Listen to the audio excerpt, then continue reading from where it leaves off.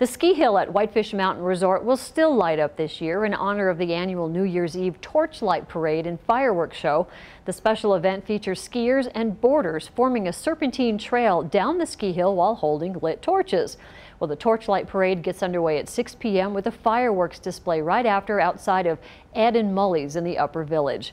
Whitefish Mountain Resort Events Coordinator Hillary Howell says this year's event will look different from years past. They're only having 60 skiers in that Torchlight run.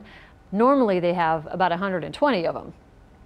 We're capping it at 60 participants, and that is just to keep uh, congregation down and uh, make it so we don't have a bunch of people that are all together who don't know each other and hopefully social distance as best we can.